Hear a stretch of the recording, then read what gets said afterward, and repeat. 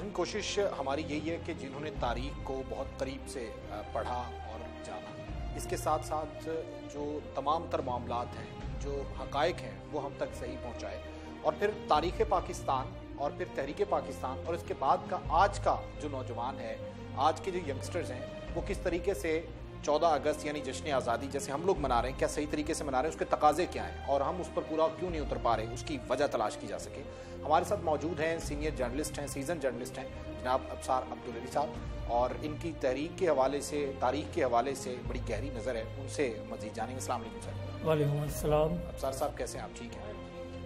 اچھا ابسار صاحب ہم بات کر رہے ہیں کہ چودہ اگست کو یوم آزادی جشن آزادی پاکستان یہ ایک نام دے دیا گیا۔ اس کے بعد پاکستان زندہ باد کے نعرے لگنے شروع ہو گئے۔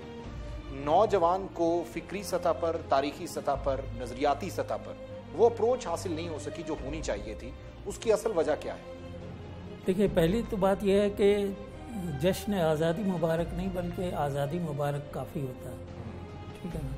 دوسری بات یہ ہے کہ آج کا نوجوان اور قائد اعظم کے زمانے کا نوجوان، اس میں بڑا فرق ہو گیا۔ ہے قائد اعظم نے اپنی تمام تر امیدوں کا بوجھ، بلکہ اپنی تمناؤں کا اور آرزوؤں کا بوجھ جو تھا وہ کاندھے پر ڈالا تھا نوجوانوں کے۔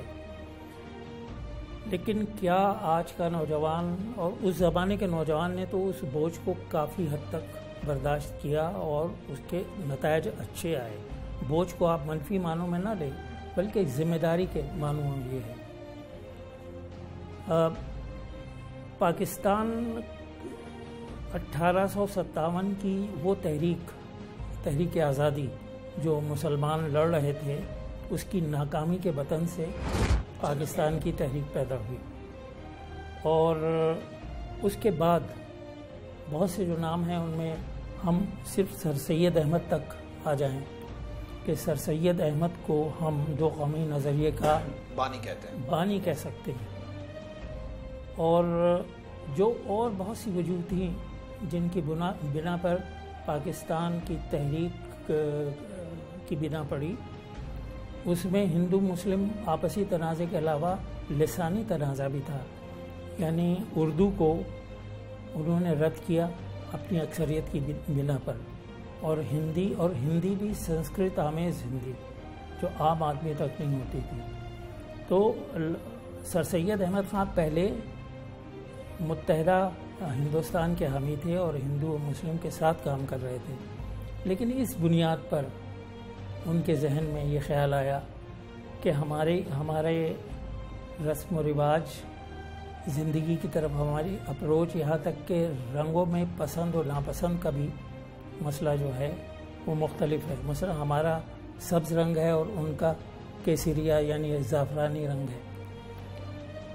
تو یہ جو بڑھتے ہوئے اختلاف اور پھر زبان نے انہوں نے کہا کہ جو عدالتوں کی زبان بدل دو۔ تو اس کا اثر کا جو سر سید احمد خان پر ہوا، وہ ایک احساس نے اس سے جنم لیا۔ وہ احساس تھا دو قومی نظریے کا۔ وہ احساس علامہ اقبال تک پہنچتے پہنچتے ایک تصور بن گیا۔ لیکن بیچ میں ایک دو نام اور بھی ہیں۔ مثلا مولانا عبد الحلیم شرر، انہوں نے وہی بات کہی تھی جو بعد میں قائد اعظم نے کہی۔ اور انہوں نے وہی تصور پیش کیا تھا جو پہلے سر سید احمد خان پیش کر چکے تھے۔ انہوں نے کہا تھا، ان کا ایک رسالہ تھا دل گداز۔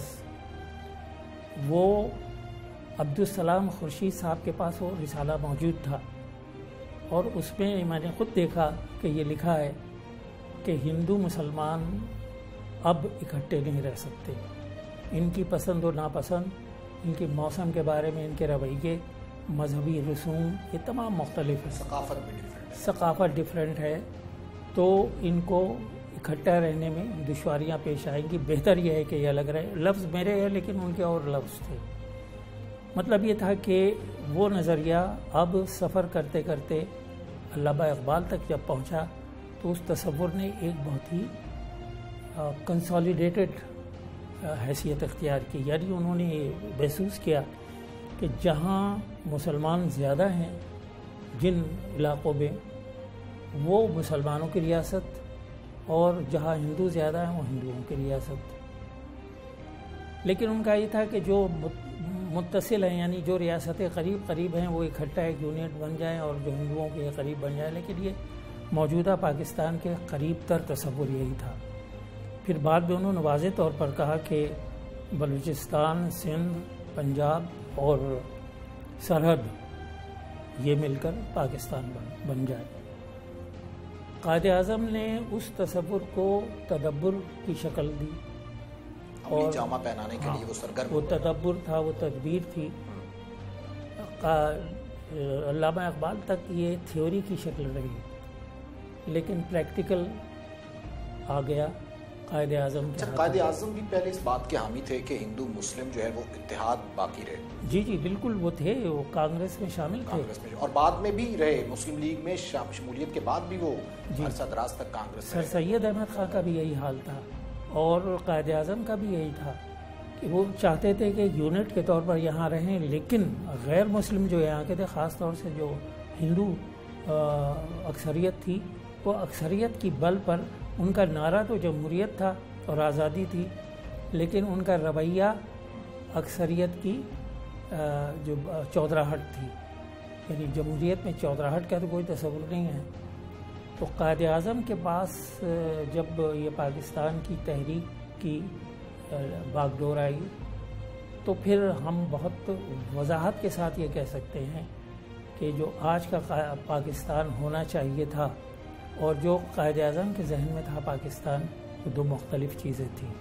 یہ یہ کیا اس میں کیا ڈیفرنس ہے جو آپ بتانا ہاں اس میں کیا یہ وہ پاکستان نہیں ہے جس کا خواب دیکھا گیا تھا یا جس کے لیے قائد اعظم نے جد و جہد کی؟ جی بالکل۔ اس سے تھوڑا سا مختلف ہے۔ یہاں تک کہ جغرافیائی طور پر بھی مختلف ہو گیا۔ ہاں، مشرقی پاکستان کے جانے سے اور قائد اعظم نے اپنی تمام تر توجہ نوجوان نسل پر برکوز کی۔ اور انہی سے توقعات وابستہ کی۔ اور تعلیم پر زور دیا۔ اچھا تعلیم کی جو بات آپ نے کی ہے ستائیس نومبر انیس سو سینتالیس کو یعنی وہی سال ہے جس میں ہم نے آزادی حاصل کی اور چند مہینے کے بعد۔ اس سے آپ کو اندازہ ہوگا کہ قائد اعظم کے ذہن میں کتنی کلیئرٹی تھی پاکستان کے بارے میں اور پاکستان کے لوگوں کے بارے میں۔ اور پاکستان کے آگے بڑھنے کے لیے کن راستوں پر ہمیں چلنا اس بارے میں۔ تو انہوں نے وہاں یہ کہا، وہاں ہوئی تھی، کراچی میں ہی ہوئی۔ ستائیس نومبر انیس سو سینتالیس کے کانفرنس اور اس میں قائد اعظم نے یہ کہا کہ آپ زندگی کے کسی بھی شعبے سے وابستہ ہو صنعت ہے، تجارت ہے آپ ٹیچر بنیں، کچھ بنیں، لیکن ایک تعلیم حاصل کرنے کے بعد۔ یعنی اور وہ تعلیم اس میں سائنس اور ٹیکنالوجی بھی شامل مطلب زمانے سے آگے نکلنے کے لیے اس وقت آپ ستر سال بہتر سال پہلے قائد اعظم نے جو پیغام دیا تھا اس پر آج کا نوجوان عمل نہیں کر رہا۔ آج آپ دیکھیے کہ کیا آپ دنیا کی اقوام میں سر اٹھا کر کھڑے ہونے کے قابل ہیں؟ ان کے ساتھ شانہ بشانہ چلنے کے قابل تو اور بات اس کی ریزن کیا کہ قائد اعظم کے فرمودات پہ عمل نہ کرنا یا قائد اعظم کی شخصیت کا صحیح احاطہ ہمارے نوجوان تک نہ پہنچنا؟ نہیں نوا ان کے ان تک پہنچانا تو تھا بزرگوں کا کام لیکن خود نوجوان بھی تو اس تک پہنچ سکتے تھے۔ یعنی ہاں، تاریخ میں سب کچھ لکھا تھا۔ تو ریسرچ کی بات آپ نے کی۔ ابھی کچھ سال ہوئے۔ نام چومسکی یہاں آیا جو کتنا بڑا فلاسفر بھی ہے اور بہت سینئر جرنلسٹ ساری دنیا کا۔ تو اس نے یہ کہا کہ پاکستان کا نوجوان بہت ذہین ہے، لیکن ریسرچ بائنڈڈ نہیں ہے۔ تو اس نے دیکھا کہ یہاں کی ترقی کا وہ معیار اور وہ رفتار نہیں ہے جو کہ ہونی چاہیے۔ اور آج کی دنیا میں کوئی بھی ترقی ایسی نہیں ہے جو ریسرچ کی بنیاد پر نہ ہو سکے۔ یعنی آپ ریسرچ کریں گے ریسرچ اور ڈیولپمنٹ کا چولی دابن کا ساتھ ہے۔ تو ریسرچ نہیں ہے۔ اب آپ دیکھیے یونیورسٹی سے اٹھا کر دیکھیے کہ اگر سو لوگ پی ایچ ڈی کی ڈگری حاصل کرتے ہیں، تو اس میں کتنے ہیں سائنس اور ٹیکنالوجی کے؟ زیادہ تر نوجوان لینگویجز میں، اردو میں ایم اے کر لیا پی ایچ ڈی کر لیا، پنجابی میں کر لیا، اسلامیات میں کر لیا، تاریخ میں کر لیا، پھر وہ کھڑے ہو کر حکومت کے مخالف نعرے لگاتے ہیں۔ کہ ہمیں ملازمت نہیں ملتی۔ تو دنیا کی کوئی بھی ترقی یافتہ ترین قوم بھی اپنے تمام لوگوں کو سرکاری ملازمت نہیں دے سکتی۔ تو یہ بھی ایک اصل جو بنیادی بات یہ ہے کہ نوجوانوں کی سمت بندی اس طرح نہیں ہو سکی۔ ایک ڈائریکشن ان کو نہیں دکھائی جا سکی جس طرح قائد اعظم نے کہا تھا۔ اور خود نوجوان بھی سوسائٹی میں اس طرح جی ہاں اور خود نوجوان انہوں ان پر بھی یہ ذمہ داری تھی کہ وہ خود مطالعے کے لیے جاتے تاریخ کے اوراق پلٹتے دیکھتے کہ قائد اعظم نے ہماری تمام تر ترقی اور ہماری تمام تر نجات کا واحد ذریعہ تعلیم کو قرار اچھا دیا آخری سوال تعلیم کے بعد کہ جی۔ جو فرمودات ہیں جو تاریخ ہے جو حقائق ہیں جی۔ جو ظلم و ستم کے پہاڑ توڑے گئے مسلمانوں اور جب مسلمانوں نے ہجرت کی یہاں پر پہنچے اور پھر اس کے بعد کا پاکستان، پھر قرضوں کا بوجھ، معیشت جو ہے وہ پاکستان کی کمزور، پھر اس کے بعد کابینہ اور پھر اس کے بعد ایک نئی گورنمنٹ نیا سیٹ اپ یہ ساری چیزیں نوجوان کے علم میں نہیں۔ ہمارے مطالعہ پاکستان میں یہ چیزوں میں صرف اتنا نالج دیا جاتا ہے، قائد اعظم کے چودہ نکات ہیں، قرارداد مقاصد ہے، بس، اور تحریک پاکستان میں علامہ اقبال کا قائد اعظم کا کردار انف اس کے علاوہ کوئی نوجوان کو نہیں بتایا جاتا۔ دو طبقات ایسے ہیں کہ جو کہ اس حوالے سے ذمہ دار قرار پاتے ہیں میری نظر میں آپ بتا سکتے ہیں۔ ایک صحافی اور دوسرا جو ٹیچر ہے وہ۔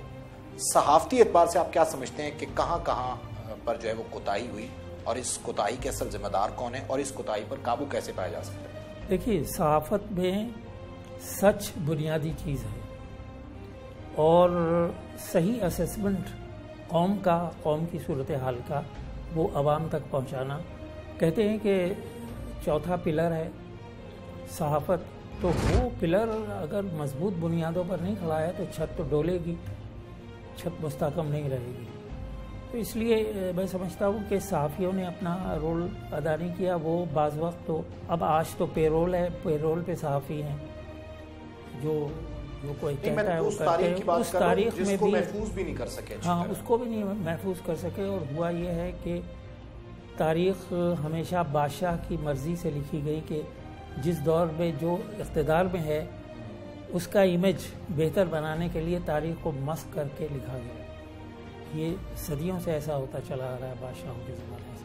اس کو ہم ترمیم نہیں کر سکے۔ مغلوں نے اپنی تاریخ لکھی۔ آپ دیکھیے کہ انصاف کے معاملے میں جہانگیر کا نام کتنا مشہور ہے۔ تاریخ میں ہمیں صرف ایک دھوبن کا واقعہ ملتا ہے جس کو انصاف ملا۔ باقی کس کو انصاف ملا؟ تو حکایتیں اور کہانیاں بادشاہ لکھواتے تھے اپنے امیج کو بلڈ کرنے کے لیے۔ ہم نے بھی اسی کو فالو کیا اور ہمارے یہاں بھی تاریخ اسی طرح لکھی جاتی ہے ہاں جھوٹ لکھا گیا۔ ایک شخصیات کے امیج امیج کو بلند کرنے کے لیے ان کا بت بنانے کے لیے یہ سب کچھ کیا۔ اچھا چودہ اگست کے حوالے سے کیا میسج آپ کو؟ چودہ اگست کے حوالے سے میرا میسج یہی ہے کہ ہم تعلیم کی طرف توجہ دیں اور تعلیم میں سائنس اور ٹیکنالوجی کی طرف توجہ دیں۔ اگر ہم تاریخ پڑھیں اس وقت تو مسلم اسپین کے زوال کے بعد یعنی ایک ہزار سال کا وقت مسلمانوں کی تاریخ میں علم و دانش ختم ہوتا چلا گیا۔ اور آج اس کی بہت ضرورت ہے۔ آپ یہ دیکھیے کہ نو سو پینسٹھ میں بڑے بڑے سرجن اور بڑے بڑے فلاسفر، بڑے بڑے سائنسداں، مسلمانوں میں موجود تھے۔ آج ہم کالا باغ ڈیم کالا باغ ڈیم کی کتنی باتیں کر رہے ہیں۔ یہ ڈیم کا بنیادی تصور ایک مسلمان سائنسدان نے دیا تھا دسویں صدی میں۔ اور وہ تھا بو علی ابن الحسن الحسن۔ اس نے ہی کہا تھا کہ وہ تھا تو بسرے کا رہنے والا، لیکن مصر میں دریائے نیل پر جب سیلاب آتا تھا تمام کھیتی باڑی تباہ ہو جاتی تھی لیکن زمین زرخیز تھی۔ مطلب یہ تھا کہ بادشاہ سے زیادہ طاقتور وہاں پانی تھا اور اس کو کنٹرول کرنے کا محفوظ بنانے کا طریقہ کوئی طریقہ نہیں اس کو کنٹرول کرنے کا لگام دینے کا کوئی طریقہ نہیں تھا۔ تو بو علی ابن الحسن الحسن نے ایک تصور پیش کیا باقاعدہ ایک پلان اس بادشاہ کو دیا خلیفہ حکیم کو۔ کہ ہم پانی کو تیس تین طرف سے کنٹرول کر کے اس کو جمع کر سکتے ہیں ضرورت کے وقت اس کو استعمال کر سکتے ہیں۔ لیکن اس پر عمل نہیں ہو سکا۔ اس کی ایک طویل داستان ہے۔ یعنی فنی تعلیم بہت ضروری ہاں۔ نوجوانوں کے لیے۔ تو آج آج بھی ہمارا نوجوان ڈیب کی اہمیت سے واقف نہیں ہے۔ دوسری بات اب میڈیکل میں آپ آئیں کہ میں مسلم اسپین سے ہی آپ کو پھر مثالیں دوں گا۔ جب ہم اب ہم نشت ثانیہ کی طرف ہیں، لیکن دوسری زندگی کے تقاضے کیا ہیں وہ ہمیں نہیں معلوم۔ پھر وہی سائنس اور ٹیکنالوجی کی بات آتی میں بار بار اس پہ زور دوں گا۔ تو، دسویں صدی میں ابوالقاسم الزہراوی ایک مسلم سرجن اسپین میں تھا۔ اور وہ جدید سرجری کا بانی ہے۔ آج ہم سمجھتے ہیں شاید امریکہ اور یورپ نے سرجری کی تعلیم دی ہے اور اس کی، اس کو ایجاد کیا نہیں اس نے ہیڈ یعنی اسکل کو اتار کے اس کی سرجری کی۔ ماں کے پیٹ میں بچہ مر جائے، آج بھی وہ بہت ہی نازک ہے مسئلہ۔ اس کے بارے میں اس نے آپریشن بڑے نازک اور اس کے بنائے ہوئے جو انسٹرومنٹس ہیں سرجری کے، وہ آج بھی فالو کیے جاتے ہیں۔ پھر میڈیسنس میں بو علی سینا کے مقابلے کا کوئی نوجوان ہم میں پیدا ہوا۔ نہیں پیدا ہوا۔ سرجری میں کوئی پیدا ہوا نہیں پیدا ہوا۔ فلاسفی میں نہیں کہ کوئی ابن رشت پیدا نہیں ہوا۔ ابن رشت کی فلاسفی پر بیس کر کے سارا یورپ آج ترقی کی منزلیں طے کر معراج پہ پہنچا۔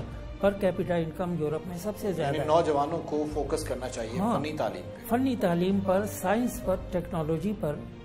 اور یہ ہمارا ورثہ رہا ہے ہزار سال پہلے۔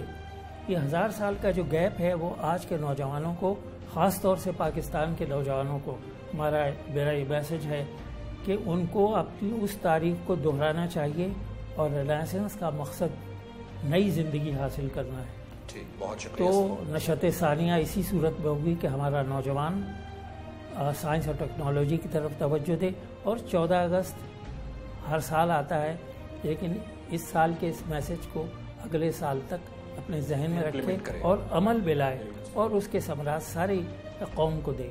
ٹھیک بہت شکریہ۔ شکریہ۔